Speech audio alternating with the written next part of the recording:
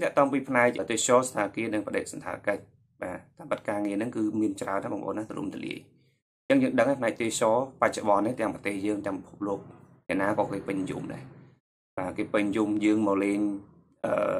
យើងទៅលេងស្រុកគេគេមកលេងស្រុកយើងហើយនឹងទេសចរនៅក្នុងស្រុកបាទយើងនិយាយជារួមថាក្រៅស្រុកក្នុងស្រុកមានទាំងអស់គ្នាអញ្ចឹងខ្ញុំនិយាយអំពីផ្នែកខ្លះចោះនៅក្នុងផ្នែកសន្តាផ្នែកទេសចរហ្នឹង បើសិនជាយើងនិយាយអំពីធំធំណាមុខចំនួនដែលគេរកស៊ីធំធំណាអញ្ចឹងពេលខ្លះគេបើកជាស្ថាគារនឹងការបើកជាស្ថាគារជាទូទៅស្ថាគារវាផ្ដោតទៅលើការស្នាក់អាស្រ័យណាការស្នាក់អាស្រ័យហើយមួយទៀតវិញគឺអ្នករកស៊ីធំធំខ្លះគេមកកំសាន្តលេងហើយគេមានការជួបជុំបាទជាមួយនឹងអ្នកចំនួនក្នុងស្រុកអេផ្សេងទៀតអញ្ចឹងបានមានផ្នែកមួយដែលគេដាក់ថាបដិស្ថាកិច្ចបាទបដិជាការជួបជុំជាការរាក់ទាក់ជាការស្វាគមន៍ ឬជាការធ្វើកម្មវិធីសិក្ខាសាលាបទបង្ហាញផ្សេងផ្សេងទៀតអញ្ចឹងណាបាទអញ្ចឹងបើយើងមានលទ្ធភាពយើងបើកទីយើងបើកសន្តាគារអាហ្នឹងក៏ជាចំណែកមួយដែលអាចឲ្យយើងនឹងរកចំណូលបានច្រើនផងដែរអញ្ចឹងនៅក្នុងហ្នឹងគឺយើងមានតាំងពីមហូបអាហារមានអីទៀតដល់បាទយើងអាចបើកភោជនីយដ្ឋានភ្ជាប់មកជាមួយគ្នាតែម្ដងបាទហើយម្យ៉ាងទៀតបើសិនជាយើងខ្លាំងភាសាបាទយើងខ្លាំងភាសាអានោះយើងអាចកាយយើងអាចធ្វើជាកាយបាននៅក្នុងហ្នឹង ហើយតកតងពីអឺស្ថានភាពយើងឃើញនៅភាគច្រើនអឺភ្ជាប់ជាមួយកាយទីមួយឃើញមានគេហៅថាមានសេវាកម្មមួយផ្នែកទៀតបើដូចនៅក្នុងប្រទេសរបស់យើងពេលខ្លះនៅក្នុងស្ថានភាពធំធំគេមានកាយអឺជាលក្ខណៈនេះស៊ីក្លូបាទហ្នឹងនៅភ្នំពេញហ្នឹងគឺឃើញនៅសបោតាគេធំធំណាបាទអញ្ចឹងគេមានខាងក្រមការងារខាងស៊ីក្លូរបស់គេហ្នឹងមួយក្រុមតែទៀតអាចដឹកភ្ញៀវទេសចរអញ្ចឹងទៅ ទស្សនាលេងកំសាន្តកន្លែងនេះកន្លែងនេះអញ្ចឹងណាបាទអញ្ចឹងយើងទៅកាយបកស្រាយអំពីទីកន្លែងមួយមួយផងដូចជាការលេងកំសាន្តនៅសារមន្ទីរជាដើមឬមួយក៏ទៅកន្លែងប្រាសាទអីចឹងជាដើមបាទហ្នឹងជាទូទៅគឺយើងសបោនៅទេសចរធំធំនៅសៀមរាបនៅអីក៏គេសបោចឹងដែរបាទបាទអញ្ចឹងហើយតកតងពីរបៀបវរៈផ្សេងផ្សេងទៀតបាទដែលយើងត្រូវរៀនពីកិច្ចស្វាគមន៍ការទទួលភ្ញៀវលំដាប់បាទព្រោះផ្នែកហ្នឹងគឺសំខាន់ ព្រោះអីភ្ញៀវមានច្រើនប្រភេទភ្ញៀវខ្លះគឺគ្រាន់តែមកទេសចរលេងកម្សាន្តទេបាទភ្ញៀវខ្លះវិញគឺលក្ខណៈជំនួញគាត់មកជាលក្ខណៈជំនួញបាទហើយភ្ញៀវខ្លះទៀតគឺមកលក្ខណៈតំណាងរដ្ឋាភិបាលអញ្ចឹងណាអញ្ចឹងតើយើងត្រូវរយៈបែបណាហើយកម្រិតភ្ញៀវមួយមួយហ្នឹងតើសន្តាគារកម្រិតណាបែបអឺស្តង់ដារកម្រិតណាដែលយើងអាចទទួលយកបានអញ្ចឹងណាបាទអញ្ចឹងបងប្អូនអាចបើកនៅសេវាបកប្រែជូនក៏បាន ឬសេវាគេហៅថាស៊ីក្លូណាសេវាកម្មផ្នែកស៊ីក្លូដឹកជញ្ជូនឬសេវាកម្មផ្នែកទេសចរផ្សេងផ្សេងទៀតដែលយើងអាចមានជារថយន្តឈ្នួលបាទឬមួយក៏ជាអ្វីអ្វីផ្សេងដែលយើងគិតថាអាចជូនភ្ញៀវកំសាន្តបានណាបាទព្រោះធម្មតាការទេសចរគឺយើងចូលចិត្តអញ្ចឹងដូចយើងកំសាន្តដើរលេងតាមកោះអីចឹងទៅយើងមានតាំងពីទូកនេះសេវាកម្មផ្នែកទូកផ្នែកអីចឹងទៅហ្នឹងគឺច្រើនអាហ្នឹងគឺតកតងពីផ្នែកមួយទេសចរនៃទេសចរបាទអញ្ចឹងតកតងពីជំនាញផ្នែកច្បាប់វិញ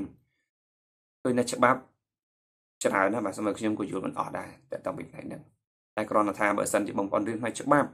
ទោះថាយើងអាចរកស៊ីបានទេយើងរកស៊ីក៏បានយើងធ្វើការក៏បានដែរបាទហើយ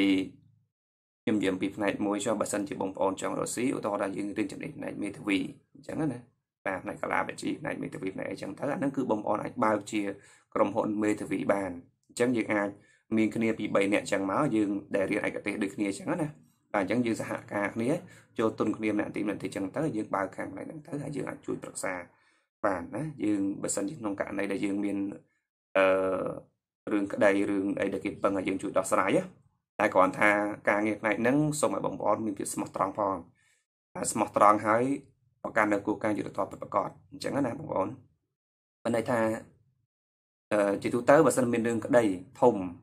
តែដែលគេប្រឹងប្រដងគ្នាអញ្ចឹងអានឹងវាមានអ្នកត្រូវវាមានអ្នកខុសអញ្ចឹងណាបាទអញ្ចឹងពាក្យចឹងគឺសិតតែប្រាស់ទឹកលុយនៅក្នុងការដោះស្រាយការងារទាំងអស់ហ្នឹងអញ្ចឹងយ៉ាងណាក៏ដោយសូមឲ្យបើថាត្រូវកាត់ក្តីឲ្យត្រូវយើងយើងការពារឲ្យត្រូវដែរបើសិនជាខុសយើងការពារបាទកុំឲ្យជ្រុលបាទកុំឲ្យត្រឡប់ចេញពីខុសមកត្រូវពីត្រូវខុសវិញអាហ្នឹងគឺខុសហើយបាទព្រោះគ្រាន់តែយើងអឺ ធ្វើអ្វីដែលអាចថាការពារជាសិទ្ធិសេរីភាពឲ្យគាត់នៅក្នុងមួយផ្នែកបាទកុំឲ្យគាត់បាត់បង់សិទ្ធិសេរីភាពច្រើនទៅបានហើយបើសិនតែករណីគេខុសណាហ្នឹងហើយអញ្ចឹងបើសិនជាយើងអឺធ្វើបាននៅរឿងទាំងអស់ហ្នឹងអត់បញ្ហាទេបាទអញ្ចឹងគឺនៅក្នុងផ្នែកមេធាវីហ្នឹងគឺយើងអាចបើកដំណើរការអញ្ចឹងបានតើតោះផ្នែកសេវាកម្មផ្នែកច្បាប់ផ្សេងផ្សេងទៀត បងប្អូនអាចធ្វើបានច្រើនណាបាទបើជាសមាគមប្រឹក្សាផ្នែកច្បាប់តកតងពីការរត់ឯកសារផ្សេងផ្សេងទៀតដូចជាការបង្កើតក្រុមហ៊ុនដូចជាអីអញ្ចឹងណាអញ្ចឹងឃើញថាមានអ្នកខ្លះក៏អត់យល់អំពីនីតិធានការបង្កើតនៅក្នុងការបង្កើតអញ្ចឹងយើងអាចបង្កើតជាក្រុមហ៊ុនប្រឹក្សាផ្នែកនីតិវិធីបង្កើតក្រុមហ៊ុនបានទៀតបាទអញ្ចឹងអត់ជាបញ្ហាទេការរត់ច្បាប់អីអញ្ចឹងមួយចំនួនពេលខ្លះបើយើងខ្ជិលញ៉ៃញ៉ៃច្រើនយើងអាចពឹងគេបានហ្នឹងហើយអញ្ចឹងអាកន្លែងហ្នឹងសិតតែជាផ្នែកមួយដែលយើងអាចបើកបានទាំងអស់បាទមានច្រើនណាបាទ ខ្ញុំនិយាយថាមានច្រើនណាគ្រាន់ថាអញ្ចេះបងប្អូនរៀនយល់អំពីពេលដែលយើងរៀនអំពីផ្នែកច្បាប់នឹងមកយើងបងប្អូននឹងគិតថាតើប្រជាពលរដ្ឋរបស់យើងតើគាត់មានបញ្ហាហ្នឹងអញ្ចឹងតើគាត់នឹងរត់រត់ទៅខាងណាអញ្ចឹងយើងអាចជួយបំពេញចំណុចខ្វះខាតឲ្យគាត់បានអត់អញ្ចឹងនៅពេលដែលយើងបំពេញនៅចំណុចខ្វះខាតឲ្យគាត់នោះអញ្ចឹងយើងគិតវិញថាតើយើងគួរតែបំពេញឲ្យគាត់នៅក្នុងលក្ខណៈបែបផែនណាបើយើងធ្វើការងារផ្ទាល់ផ្ទាល់តែម្ដងអញ្ចឹងយើងម្នាក់ឯងយើងធ្វើបានអឺដោះស្រាយបញ្ហាបានច្រើនទេអញ្ចឹងណា តែបើសិនជាករណីមួយដែលយើងអាចបង្កើតបានតែជាក្រុមហ៊ុនយើងអាចមានគ្នាគ្នាច្រើនអញ្ចឹងយើងអាចទទួលយកនៅរឿងក្តីឬបញ្ហាផ្សេងៗឬសមាកម្មផ្សេងៗទៀតដែលយើងអាចបំពេញឲ្យគាត់បានអញ្ចឹងគាត់ថាយើងបើផ្នែកច្បាប់ផ្នែកអីអញ្ចឹងបងប្អូនកុំយកសមាកម្មថ្លៃពេកបាទសូមសំណូមពរអញ្ចឹងហើយព្រោះធម្មតាប្រជាពលរដ្ឋរបស់យើងខ្លះគាត់មិនអាចយល់អំពីផ្នែកច្បាប់អីនឹងបានច្រើនប្រហែលទេអញ្ចឹងក្នុងនាមយើងជាអ្នកចេះជាអ្នកយល់ជាអ្នករៀនដែរយើងទទួលយកសេវាកម្មមួយផ្នែកដែលយើងគិតថាសមល្មមទៅបានហើយ ដើម្បីជួយអភិវឌ្ឍដល់សង្គមជាតិរបស់យើងផងអញ្ចឹងរាល់ចងល់បញ្ហាផ្សេងផ្សេងទៀតបងប្អូនអាចសួរនៅក្នុងខមមិននេះបានតែសូមអរគុណហើយយើងជួបគ្នានៅវីដេអូបន្តទៀត